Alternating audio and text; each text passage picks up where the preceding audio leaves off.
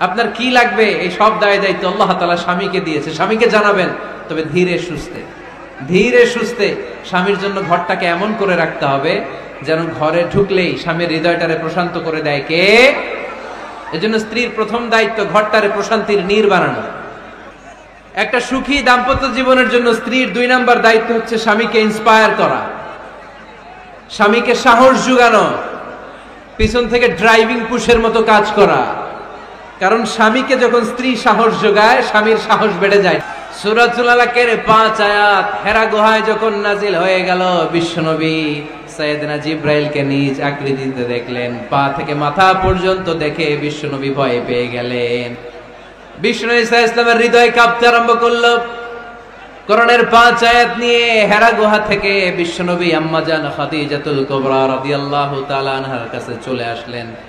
এসে ডেকে বললেন খাদিজা জাম্মিলুনি।